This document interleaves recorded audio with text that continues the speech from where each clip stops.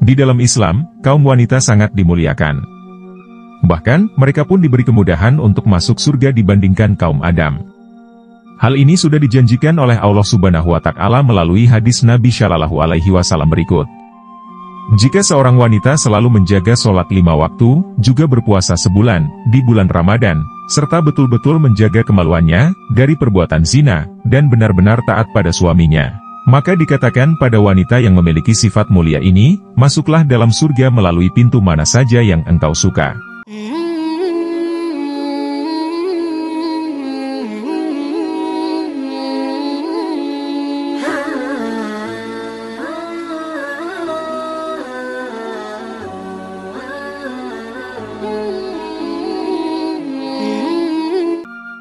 Enam ciri wanita penghuni surga, kamu termasuk golongan inikah?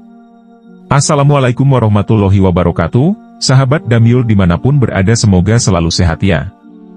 Di dalam Islam, kaum wanita sangat dimuliakan. Bahkan, mereka pun diberi kemudahan untuk masuk surga dibandingkan kaum Adam. Hal ini sudah dijanjikan oleh Allah Subhanahu wa Ta'ala melalui hadis Nabi Shallallahu Alaihi Wasallam berikut. Jika seorang wanita selalu menjaga sholat lima waktu, juga berpuasa sebulan, di bulan Ramadan, serta betul-betul menjaga kemaluannya, dari perbuatan zina, dan benar-benar taat pada suaminya. Maka dikatakan pada wanita yang memiliki sifat mulia ini, masuklah dalam surga melalui pintu mana saja yang engkau suka. Hadis Riwayat Ahmad 1, 191 dan Inu Hibban 9, 471 Syekh Shuaib Al-Arnaud mengatakan bahwa hadits ini syahih. Menjadi penghuni surga merupakan impian dari semua wanita muslim yang kelak akan menjadi ratu para bidadari surga. Sebagai seorang wanita muslim yang memiliki sifat serta lahiriah berbeda dengan kaum pria, maka juga terdapat perbedaan dalam amalan yang dilakukan supaya bisa mendapatkan surga seperti yang sudah diajarkan Nabi Muhammad SAW. Ciri-ciri wanita penghuni surga satu wanita muslim yang menegakkan sholat wajib lima waktu. Hal ini sesuai dengan hadits Rasulullah. Sallallahu alaihi wasallam. Rasulullah Sallallahu alaihi wasallam menyatakan, Apabila seorang wanita sholat lima waktu, puasa sebulan, Ramadan, menjaga kemaluannya dan taat kepada suaminya, maka dikatakan kepadanya, masuklah engkau ke dalam surga dari pintu mana saja yang engkau sukai. Hadis Riwayat Ahmad 1191 Dua wanita yang menjaga dirinya. Ciri wanita penghuni surga yang kedua adalah wanita yang menjaga diri. Rasulullah Shallallahu Alaihi Wasallam bersabda yang artinya, Maukah aku beritakan kepadamu tentang sebaik-baik perbendaharaan seorang lelaki, yaitu istri salihah yang bila dipandang akan menyenangkannya, bila diperintah akan mentaatinya dan bila ia pergi si istri ini akan menjaga dirinya. Hadis Riwayat Abu Dawud Hadits di atas menjelaskan bahwa wanita penghuni surga adalah wanita yang menjaga diri dari berbuat haram dan selalu berbakti kepada Allah serta suaminya. Istri tidak wajib taat atas suruhan dan arahan suami, yang bertentangan dengan hukum Allah subhanahu wa ta'ala. 3. Selalu menjaga aib keluarga. Di dalam Islam, aib adalah sesuatu yang harus ditutupi dan tak boleh diumbar apalagi disebarluaskan. Aib diri sendiri, aib pasangan, hingga aib keluarga harus selalu dijaga dan ditutupi sebaik mungkin.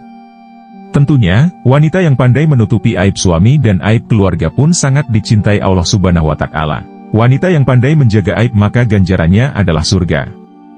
Empat wanita yang taat pada suaminya. Wanita penghuni surga merupakan wanita yang bisa taat pada suaminya dan selalu menjaga kesucian diri serta harta suami.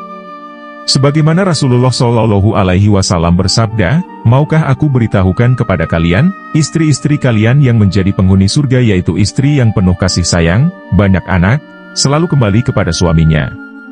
Di mana jika suaminya marah, dia mendatangi suaminya dan meletakkan tangannya pada tangan suaminya seraya berkata, aku tak dapat tidur sebelum engkau rida. Hadis Riwayat An-Nasai dalam Isyratun Nisa nomor 257 Silsilah ala Hadis Es-Syahihah Asi Syekh Al-Albani rahimahullah, nomor 287, 5. Selalu memiliki prasangka yang baik. Prasangka buruk atau suzon adalah sifat setan dan awal dari berbagai penyakit hati. Oleh karena itu, sifat ini harus dihindari dan kita harus senantiasa memiliki prasangka yang baik. Hal ini pun sudah dijelaskan oleh Allah Subhanahu wa Ta'ala dalam Al-Quran Surat Al-Hujurat ayat 12. Jadi, seorang wanita salihah harus senantiasa berprasangka baik pada siapa pun, termasuk pada suaminya. 6. Bersikap sabar. Seorang wanita yang ingin masuk surga juga harus meneladani seluruh sikap dan sifat Nabi Shallallahu Alaihi Wasallam. Salah satunya yaitu memiliki sifat sabar. Sabar secara sederhana berarti menerima segala takdir Allah dengan lapang dada sekaligus tetap bertawakal kepadanya. Terima kasih telah menonton video ini semoga dapat bermanfaat bagi kita semua. Amin. Wassalamualaikum warahmatullahi wabarakatuh.